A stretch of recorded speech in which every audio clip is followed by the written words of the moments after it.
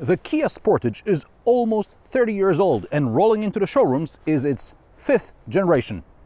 What's hiding under the boldly designed exterior? Let's find out. This episode is brought to you by Carvago. Be smart, choose your car online with Carvago.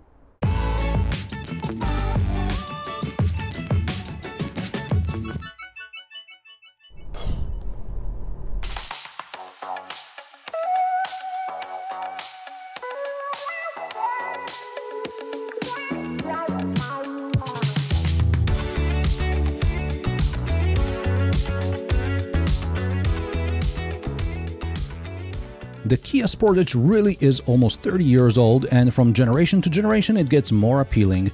I remember the Sportage from second generation onwards. In the second gen it was the same as the first gen Hyundai Tucson. Then the Tucson became the iX35 in Europe and it had a face only a mother could love. A year ago, the fourth generation Tucson debuted, and I really expected the new Kia Sportage to be largely the same parts bin with a different exterior. Yes, but fortunately there's more to it. A few years ago, Hyundai and Kia explained that they differ in that Hyundai is the mature buyer-oriented brand, whereas Kia is more youth-oriented. These days, both brands seem to one-up each other on who's going to make a bolder design statement. A year was sufficient for Kia to get something that isn't available not just on the Tucson, but also most of other competitors, and that's the Matrix LED headlights. Hyundai may have those interesting wing-looking day-running lights, but the main headlights are too weak. Kia has Matrix LEDs and I'll talk about them later when we get out on the road. Looking for a car for family, fun or work? The best place for you is Carvago.com. Carvago is a modern platform with vetted cars from all over Europe. You can buy a car from the comfort of your home and Carvago will deliver it to your doorstep. Carvago.com features more than 700,000 cars from vetted dealers across Europe. You select a car on Carvago. Carvago sends out its experts and presents you the Car Audit, a full report on the actual condition of the car. Car Audit keeps track of 270 technical points, includes photos, as well as the final evaluation by a Carvago certified technician. Next, you simply select financing and delivery options, you sign a deal with Carvago, and Carvago buys the vetted car for you. You have 14 days after delivery to test the car and return it without giving a reason. The price also includes a 6 month warranty. So, what's your car from Carvago going to be like? But we'll start with the dimensions and the practical stuff. The new Kia Sportage is just one, two centimeters longer in every aspect versus the previous generation. Small differences like this can result within the same generation on different trim levels depending on the bumper shape. In terms of dimensions, the Sportage is close not just to the Tucson, but also to the Qashqai, the RAV4 or the Tiguan. Kia is still using its smart tailgate opening system, which is not particularly smart. Yes, it opens as you approach, but the car has to be locked. I prefer the foot under the bumper method. The boot capacity, depending on the powertrain, is officially between 526 and 591 liters in 5-seat configuration. Drop the back seats in the second row and you get over 1700 liters. But some of these liters seem to be in hard-to-reach places. For example, this mild hybrid should have a 562-liter boot. At first glance, it's got a lot less. According to my measurements, it's about 450 liters, and that's if I'm being generous. So that's pretty much the same as in the previous generation. So what happened to the remaining 100 plus liters? I suppose they are under the floor, largely taken up by the styrofoam insert protecting the mild hybrid battery. Yes, there is some space in the insert, but a lot more could fit if you remove it completely. Also, because of the insert, you can't stow the cargo cover under the floor, but I suspect if you take a knife, cut out some of the styrofoam, it will fit. You're welcome. There are two small shopping bag hooks and levers to fold the seats, the backrest splits 40-20-40 and you can fold the middle part from the boot side as well. The boot can be closed with a button on the tailgate, but no separate button to lock the car. There is a decent amount of legroom and headroom here in the back, although that was never an issue in the previous gen. Now the backrest angle is adjustable like in the old car and the seats are also heated. There are ISOFIX mounting points obviously. Of course there are cup holders in the armrest. Now from second trim upwards, three zone climate control is standard. There are USB ports here on the side seats making it easier to access for passengers in the front. And something I overlooked in the EV6, those bumps here are actually coat hangers.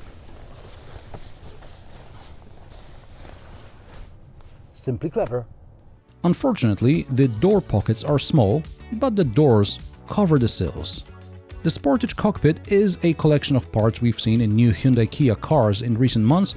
Having said that, I think Kia does a better job of putting these parts together in a way that's easy to use. Starting from the left, we've got buttons for the power tailgate, ESP and the parking brake. Then comes this nice curved panel featuring two 12.3 inch displays, the virtual instrument cluster in front of the driver and the infotainment screen. I think this is a very simple and elegant implementation resembling that in the Mercedes-Benz. Under the central display is the AC radio control panel. It's something we've seen in the EV6. Now, depending on whether you want to use the radio or the AC, the panel displays different settings and the knobs have different functions. So it's either temperature or volume and tuning. I'm getting used to it, but I'm still not a fan. Below is a smartphone cubby with wireless charging as well as some USB ports. You're going to be using the USB ports for Apple CarPlay and Android Auto because they require a cable connection and with the cable it won't even fit here properly. So I like the use of real estate on the screen where you can see your Android Auto and some basic system information. Cup holders in the Sportage are like in VW, they can be closed for more space or open for US-style XXL drinks. Next to the cup holders are the heated and ventilated seat buttons as well as the heated steering wheel button. There is also the gear selector dial and the drive off-road mode button. By the way, there's too much piano black. I picked up this test car with just 38 kilometers on the odometer, but give it a few weeks and all this is going to be covered in scratches. Storage under the armrest and the glove box are average size, the door pockets are small, especially for a family car.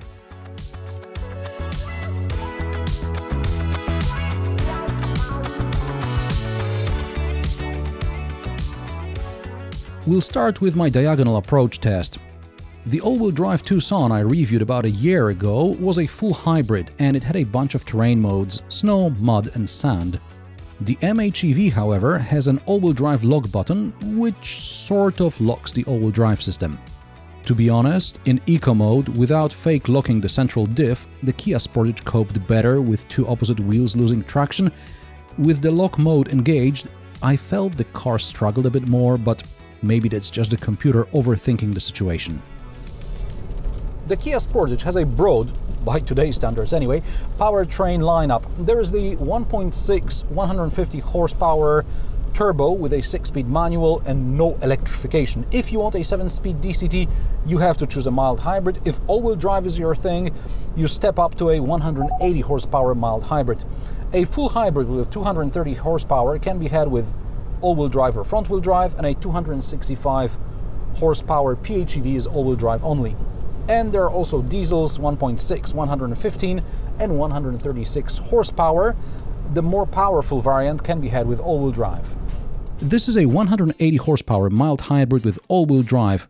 The claimed 0 to 100 km per hour time is 9 seconds. I checked and I was even quicker in eco mode. In sport mode, I barely missed the target. Claimed fuel economy in combined cycle is 7.2 liters per 100 kilometers and if you apply yourself, it is achievable. The Kia Sportage is okay to drive, the steering feels direct enough, even if it's only a school run hauler. At least I'm not falling asleep behind the wheel like in the RAV4 or the Tiguan. Anyway, the overzealous driver aids wouldn't let me. The lane departure warning beeps vehemently, and the car keeps reminding me to keep my hands on the wheel at all times, so I have to keep making those kind of micro corrections just so the car knows that I'm holding the wheel. Kia could do with capacitive sensors in the steering wheel like in the VW. The suspension is firm without being harsh. The car goes over potholes without any complaints. The seats are quite comfortable actually, and they have memory function, and here are the beeping sounds. Anyway, on the, on the minus side, the soundproofing could be better. I can hear enough noise around the city, and when I'm on a ring road or on a road like this outside the city, there is also noticeable wind noise. An interesting feature I first saw in the new Kia Sorento is the blind spot camera system, which displays the view from wing mirror cameras. It is useful not just to avoid objects in the blind spot, but also helps you to keep those alloys away from curbs. When maneuvering, the 360 camera and the reverse cross traffic alert also help. and the LED matrix lights I mentioned earlier. At night, you just turn the automatic high beam lights on and the car cuts out the beam to avoid other vehicles while illuminating the rest of the road. The Kia headlights are not as bright as those in some of the competitors, so it's hard to show on camera, but I'm driving with high beams on all the time and I didn't get any angry flashing from cars coming from the opposite direction. It's a great feature worth upgrading to the top two trim levels. Prices of the Kia Sportage start at 27,790 euro for the Edition 7 1.6 front-wheel drive manual. A mid-spec mild hybrid will set you back around 40 grand, especially if you want all-wheel drive. Germany doesn't seem to get the full hybrid, which in my opinion is the best choice. PHEV will set you back at least 44,000, quickly approaching 50 grand if you want more goodies from the options list. That's still better than a front-wheel drive only Tiguan e-hybrid and cheaper than the RAV4 plug-in.